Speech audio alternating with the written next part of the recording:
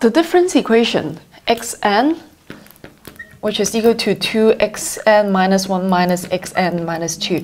So in solving the difference equation, the first step is we have to change this thing into a characteristic polynomial equation. So we'll start with the smallest term and then we will change it to 1. Then uh, the next term we'll change it to lambda and then the third term we'll change it to lambda square.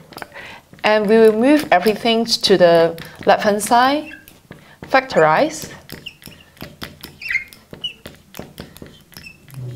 Here we got a double root. So the closed form solutions to uh, this difference equations would be a uh, 1 to the power of n, so this one, plus, since they're um, double roots, so we will have an extra n here, all right.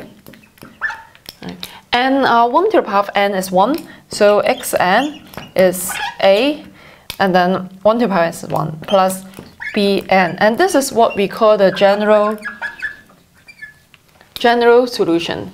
All right. Um, the question gives us the initial conditions, which is x1 is 2. So I substitute n to be 1, which is 2.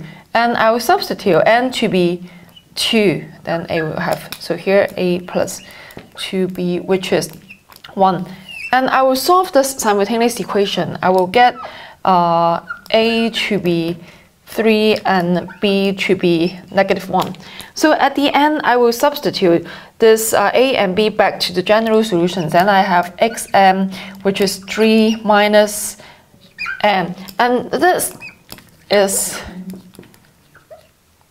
the particular solutions for this difference equations with the two initial conditions.